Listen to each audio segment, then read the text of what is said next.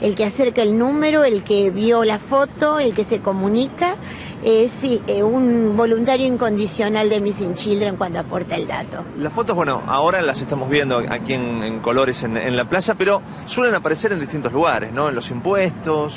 Hay, que abrir los ojos, porque las fotos están. Sin duda, eh, muchísimos organismos, muchísimas este, entidades colaboran. Las facturas de servicio aparecen los chicos en casi todas las provincias este, y es un elemento que tienen siempre a mano, siempre la boleta está colgada en algún lugar de la heladera o de, la mesa de la cocina. Y ahí aparece el número de teléfono de Missing. A veces no ponen las fotos, pero le decimos que agradecemos también el, número y la difusión. Muchísimas gracias, Marta. Bueno, eh, allí pueden ver eh, a los familiares, a, gente desesperada que está buscando a estos chicos eh, que están en algún lugar de la República Argentina. Han desaparecido, en algunos casos hace un año, en otros hace meses. Ojalá que algunos de estos chicos este domingo estén junto a sus papás nuevamente. Gustavo, seguimos atentos ahí, gracias, ¿eh? enseguida volvemos. Hasta luego. Bueno, está Sergio Hendler con nosotros, vamos a hablar de muchas noticias en estos últimos minutos. Sergio, ¿cómo estás? ¿Cómo le va? Buenas tardes. saludarlo. Me gusta hacerlo estirar así, se mueve un poco. Muy bien. Eh, como se movió el Atlético de Bilbao, debutó Bielsa 0 a 0 en el partido frente al Transboard de eh, Turquía. Eh, fue un equipo muy ofensivo, lo que pasa es que se quedó con uno menos a los 7 minutos, entonces se le complicó el partido. En un ratito imágenes de eso.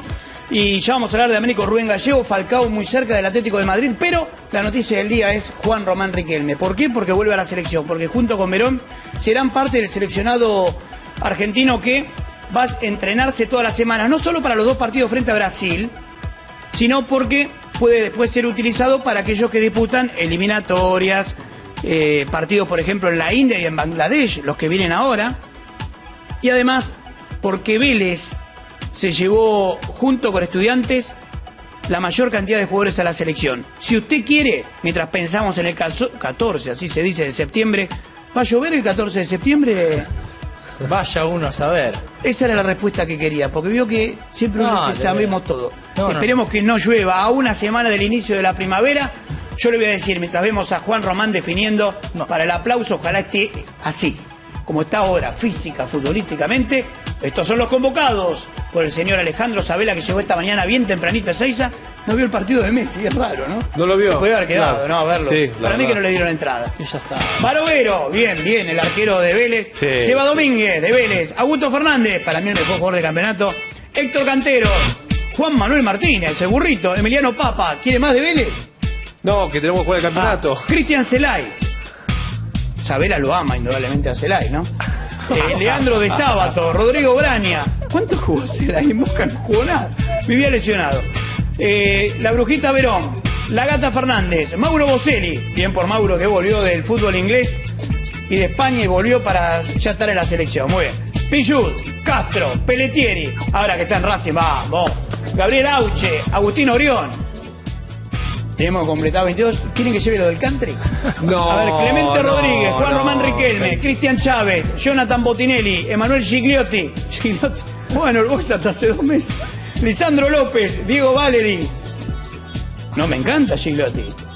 A ver, pero digo, un poco más de experiencia para tirarlo a la selección. No significa que un hombre del no pueda pero jugar son amistosos. Eh, ¿Por qué no llevan a los hermanos de, de Atlanta? No limpo nadie. ¿Eh? De Olimpo ninguno. ¿no? ¿Eh? ¿Por qué no lo llevan a.? Claro, que hizo el gol contra Belgrano. Bueno, ahí están los convocados por Sabela. Eh, los jugadores. Sí, algunos sí. Ah, algunos no. no quiero darte nombre, pero no. no. Algunos digo. A ver, yo digo esto. La camiseta de la selección hay que ganársela. Sí. No digo que todos no se la hayan ganado, pero me gusta cuando se respeta la camiseta, cuando te cuesta mucho. Pero los últimos técnicos venimos con una era de convocatoria de 60 jugadores. ¿eh? bueno, Diego, Diego mirá, a Maradona, a quien bancamos profundamente, Diego te citaba 60 tipos, cualquiera iba a la selección, mañana va Bianco, que jugó dos partidos en TN y cree que... Dos. ¿Eh? Un campeonato. Y un gol. Y un gol. Eh, bueno, ahí está. Le voy a hablar de Américo Rubén Gallego, ¿le parece? A ver. Después, porque ahora, ahora, mire la hora. Sí, mire la hora. media. ¿Qué se le ocurre? las noticias. Venga, gracias título, Sergio. ¿eh? Títulos. Se quedan en TN. Ahora compartimos la información, los títulos.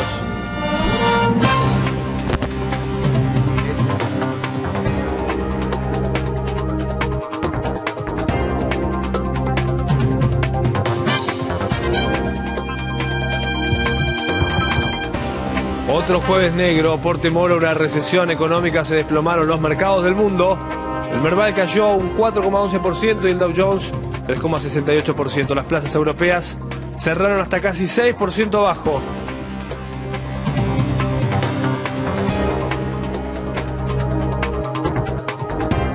Todos podrán votar en octubre. La Cámara Nacional Electoral aclaró que quienes no participaron de las primarias del domingo pasado igual podrán votar el 23 de octubre. De esta forma, se dejó sin efecto la resolución de la jueza María Servini de Cubría. Verón y Riquelme a la selección. Román se pondrá la camiseta de la Argentina el 14 de septiembre en el amistoso contra Brasil. Su último partido había sido en octubre del 2008. En la lista de convocados, Sabela también incluyó a la Brujita, que finalmente irá como jugador y no como dirigente.